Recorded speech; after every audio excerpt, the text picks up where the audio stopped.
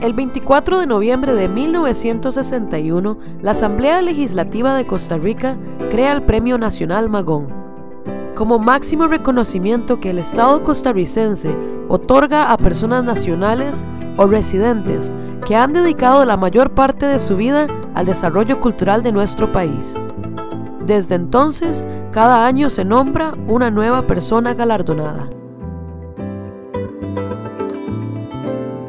Galardón 1979.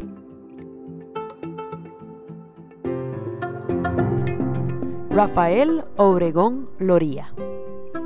Pensador autodidacta, sus pasiones fueron la geografía, la historia y la astronomía. Es uno de los principales historiadores del siglo XX recibe el galardón en reconocimiento a sus investigaciones en torno a la campaña nacional de 1856-1857. A raíz de sus investigaciones, provoca una aproximación a un tema novedoso de la época, la identidad costarricense. Desarrolló investigaciones vinculadas a la masonería en Costa Rica y a la genealogía de algunas familias alajuelenses.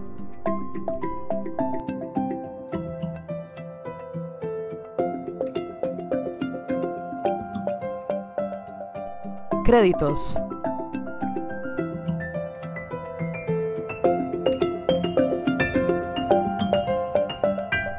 Ministra de Cultura, Silvi Durán Salvatierra.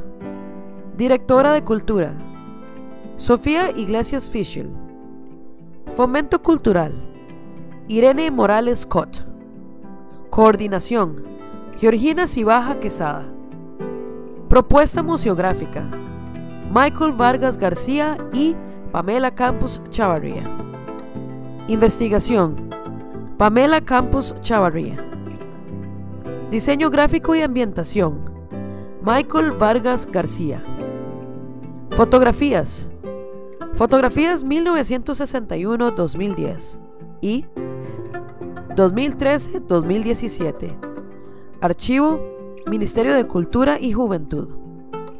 Fotografías 2011 y 2012. Cortesía Archivo Periódico Semanario Universidad.